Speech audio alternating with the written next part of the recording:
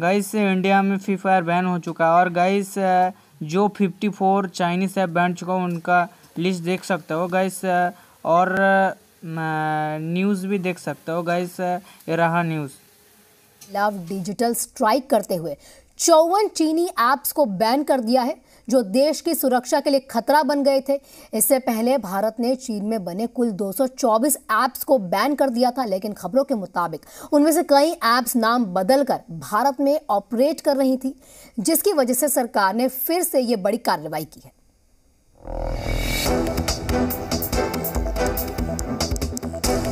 Chinese apps पर फिर digital strike चौवन चाइनीज़ ऐप्स पर भारत ने लगाया बैन।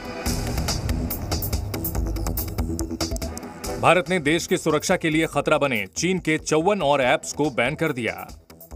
चीन के जिन ऐप्स पर बैन लगाया गया है उनमें sweet selfie HD, beauty camera selfie camera viva video editor Tencent X river Onmyoji Arena app lock और ड्यूअल स्पेस लाइट शामिल हैं। इससे जो भारतीय यूज़र्स का जो डेटा है, वो असुरक्षित हाथों में पहुँचता था और इससे भारत की सुरक्षा को खतरा पैदा हो सकता था। भारत में पब्लिक ऑर्डर को भी खतरा पैदा हो सकता था। इसी आधार पर पहले भी भारत सरकार ने 2020 में 250 से भी ज़्यादा चाइनीज़ ऐप्स को बैन किया था। सबसे पहले जून 2020 में केंद्र सरकार ने उनसठ ऐप्स को बैन किया था। तब सरकार ने TikTok, UC browser share WeChat जैसे ऐप्स पर प्रतिबंध लगाया था। जून 2020 में सरकार ने उनसठ ऐप्स को बैन किया था। इसके बाद उसी साल, सितंबर 2020 में भी 118 ऐप्स बैन किए गए। नवंबर 2020 में भी सरकार ने 43 चीनी ऐप बैन किए थे। इससे पहले भी भारत में अब तक चीन के कुल 224 ऐप्स को बैन किया जा चुका है। लेकिन सुरक्षा एजेंसियों को इस बात की आशंका थी कि देश में बैन हुए ये ऐप अब दूसरे नाम से अब भी ऑपरेट हो रहे हैं। इलेक्ट्रॉनिक्स और सूचना प्रौद्योगिकी मंत्रालय के मुताबिक कई ऐप्स चीन और दूसरे देशों में भारतीय यूज़र्स का डेटा भेज रहे थे। इसके बाद ही सरकार ने ताज़ा फैसला लेते हुए चौवन चाइनीज़ ऐप्स पर प्रतिबंध लगाया है। सरकार ने बैन हुए सभी ऐप को गूगल प्ले स्टोर से हटाने का आदेश भी दिया है।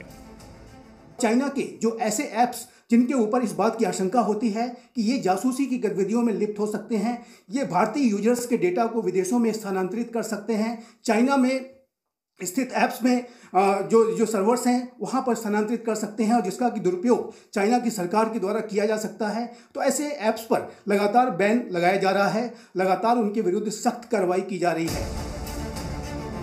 सरकार ने इन ऐप्स के ज़रिए इकट्ठा किए जा रहे डेटा और उनके इस्तेमाल को लेकर सवाल उठाए थे और इस संबंध में ऐप्स को चलाने वाली कंपनियों से सफ़ाई भी मांगी थी।